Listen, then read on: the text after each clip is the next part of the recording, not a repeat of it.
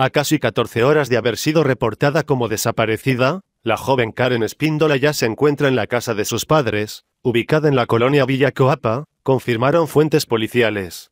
Hubo una intensa búsqueda realizada por elementos de la Subsecretaría de Operación Policial de la OSSC.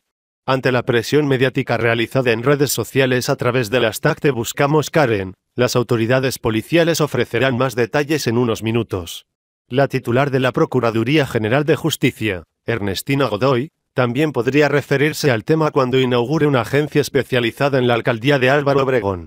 En el domicilio se encuentra personal de la Policía de Investigación quien en breve entrevistará a la joven desaparecida desde las 9 de la noche de ayer en las inmediaciones del Metro General Anaya.